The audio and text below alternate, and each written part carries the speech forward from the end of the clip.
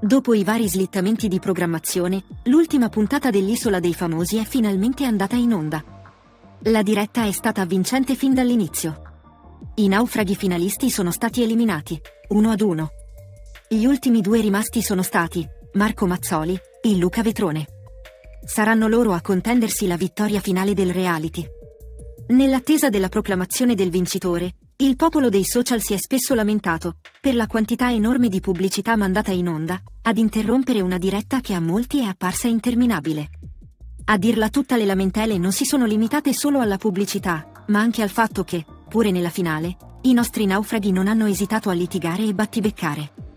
Ma si sa che nei reality funziona così, ed eccoci arrivati allo step finale della diretta.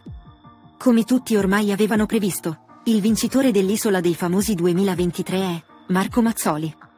Il conduttore ha dedicato la vittoria a Chico Forti, scatenando un commosso applauso anche in tutto lo studio. Che ne pensate? Soddisfatti per la vittoria di Marco Mazzoli? A voi i commenti! Se il video ti è piaciuto, metti mi piace e iscriviti al canale per ricevere gli aggiornamenti.